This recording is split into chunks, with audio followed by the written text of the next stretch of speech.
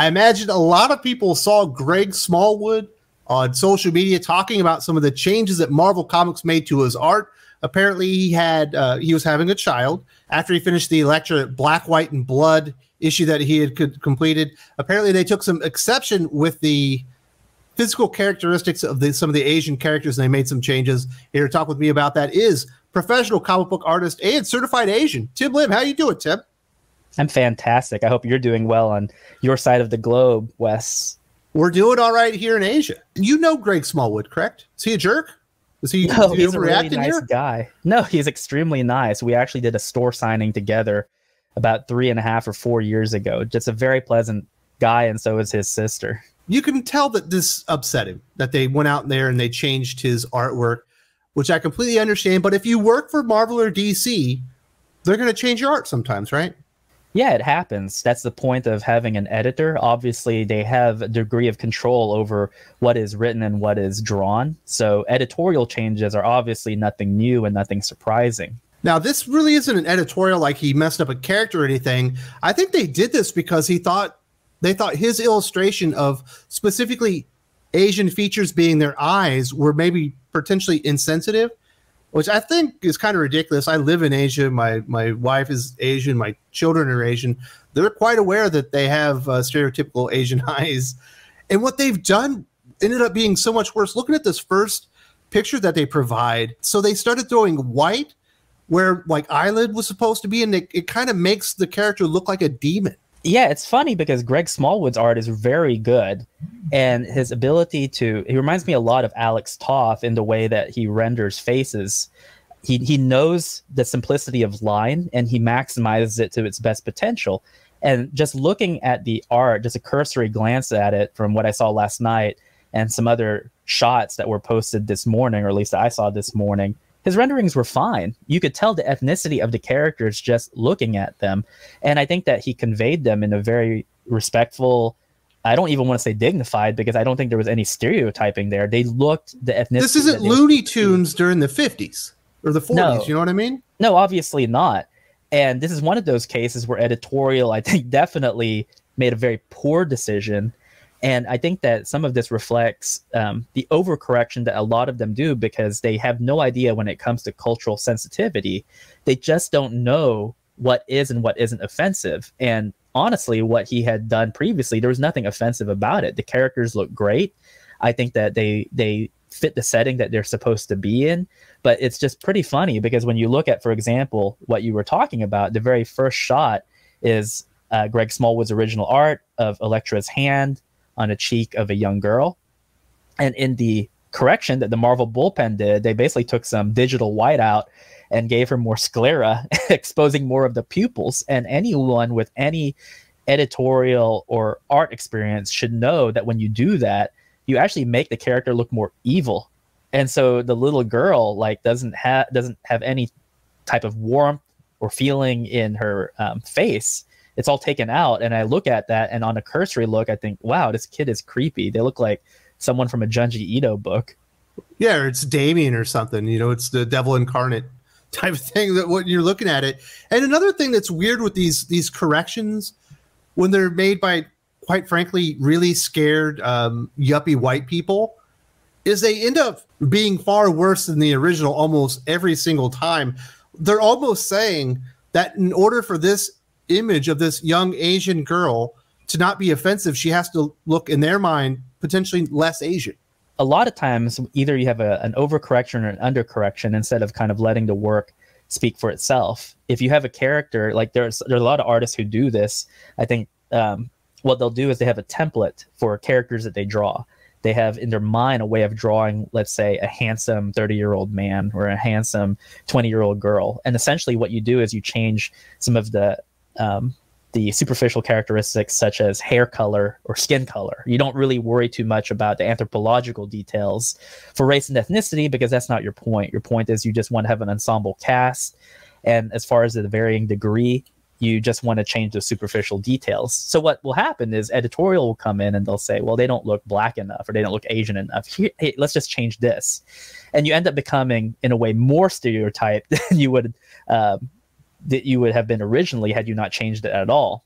versus some other people, what they do is they do a very good job conveying ethnicities, but then editorial wants to overcorrect by putting in these strange changes that basically um, it just really bastardizes the work from how, from its original intent. And with the case of Greg Smallwood, like I said, very accomplished artist, very talented. I don't yeah. think any of this needed to be corrected to begin with. There was um, in in one of the examples, I think it was the second one he posted. It's the mm-hmm. same girl, and again, her facial expression, a lot of warmth because of the way she's smiling. He puts just enough in the in the white of the eyes, just to, in the corner, just in the corner but in their change, she's she basically looks kind of bug-eyed now because that looks like the Joker or something. Yeah, and and funnily enough, she looks more white.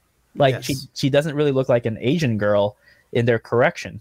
The other one, which has less to do with ethnicity and more to do with, I think, just normal censorship, is what appears to be some sort of um, uh, wild uh, lady in a cave or something, and she has her hair covering up a little bit of her naughty bits. Mm-hmm. But in their overcorrection, they put too much hair to cover it. So it's kind of difficult to tell. I mean, you look at it long enough and you can tell it's hair, but from your first looks like a really lame ass bathing suit. Right. You might think it's some sort of uh, what John the Baptist wore, for example, yeah. like a hair shirt or something. And it, it does a disservice to his work because the idea was the hair itself was enough to tastefully cover up what needed to be covered up, but also convey the point that she's nude. Whereas in their correction, you have really no idea what's going on until you take a, another second to look at it and see what's actually happening. And also just the idea with a, an artist like Greg Smallwood, who they had talked to and they said, We would like you to make corrections. His wife was about to have a baby. He went and he did the corrections and he actually sent them to them. Apparently, they didn't receive them or they ignored them and they did their own corrections which end up making his art look like shit. Like he's not like a Tumblr artist. Obviously, it's still better than that, but it doesn't look like Greg Smallwood art. He doesn't normally have those those issues, and his name is still on the book, and people are going to associate these because not everyone's going to see this video, and they're going to be like, "What? What happened to Greg Smallwood's art? He used to used to be perfect." Yeah, and that's really unfortunate because unless you're paying attention to uh, online chatter and the day-to-day news this is one of those instances where you just might not know about it um, i remember being a when i was a kid and i'd read comics there were certain issues where I, there was an artist who i would follow and in, in one issue i loved the art and the second issue seemed like the art uh, really went downhill and i would find out later on that it wasn't the artist who contributed to that it was mostly the inker because at the time i really didn't really know how inkers worked and how the entire process would go. So every cog in the machine has to be working in sync for everything to go correctly, or else you'd have people who, uh, for one reason or the other, are going to fault the artist as a result of it. Now, I think that um, he posted something where he said that I think in the reprints and in future editions of it, I think it would be his original art, but unfortunately, yes. in this version, it is not the the art that we, we should be getting, which then begs the question: Well, it's good that you have that correction in um, in the post edit and in future printings. But in my opinion, like the, in a way, there are people that paid done. for this book because Greg Smallwood's name was on it, and they like Greg Smallwood's art. Are they going to get a refund? Or are they going to get a new book? They deserve right. it. Right, exactly. And I'm hearing that the digital editions, I think, are going to feature the original art. But like you said, um, for people out there who do keep up with the the individualized issues as they come out, it does them a disservice. But hey, who knows? Like in in, in some sense, it might also be worth something because it was it is uh, a mistake in my a opinion mistake. that that was made by editorial. As far as like the depictions of ethnicities are concerned, part of that issue does revolve around the the, criti- the criticism of it and what people think is offensive and unfortunately, I think that's a little bit more complicated topic to tackle simply because we're really going down the rabbit hole of politics and pop culture. At this, this is point. an offended generation of people. Yeah, exactly. Um, and I mean, for example, like in typically in Asian countries, pale skin is considered to be more beautiful, and that has nothing necessarily to do with the influence of, say, quote unquote, white culture. That's just how it always has been it was normally associated with aristocracy because the more pale your skin was, the more kind of ivory and creamy it was. It was a typical standard of beauty, and it was also um, indicative of again the aristocracy because it meant that you had wealth and therefore you didn't work outside and um, therefore your your skin was not as as cracked or or a different pigmentation. So there are some standards that are not necessarily influenced by the West. They just happen to be something that um, culturally has been done for quite some time. But like you said, uh, me personally, I think it this would not probably be a good time to be in comics. Uh, ironically, I think that if I were to be in mainstream comics, it would probably just pigeonhole me into doing nothing but um, Asian characters. Oh yeah, you'd be doing you'd be only be doing Asian characters. You'd be doing uh, Aphra. you'd be doing all the new uh, Korean and, and Japanese and Chinese characters they created at Marvel. Well, the funny thing too is that if you look at manga, for example, I mean, they all pretty much have a very similar aesthetic. They all have typically high cheekbones, they have big eyes, they have proportions that, while good for the uh, the medium that they're in, obviously there's a lot of liberty taken in terms of their depiction. And yet, I mean, this is this is stuff created by J- the Japanese, by manga manhwa artists, so people from Korea and um, even some Chinese artists. And there's not there's no cultural sensitivity as far as the depiction of their ethnicity is concerned. So I think that that side of things is definitely something that the West is very hypersensitive about, and unfortunately, um, this is just one of those instances where it just rears its ugly head. Yeah, they, they shouldn't have made these changes. They made everything worse, to be completely honest. And I can understand if someone hands you a a caricature of an Asian person like they used to do in Looney Tunes or back in the day, where you had these real squinty eyes and these big buck teeth or whatever. Yeah, we're we're talking about uh, you know harmful images that that uh, likely you don't want associated with your brand here, but these were just pretty realistic images using the color palette available, black and white.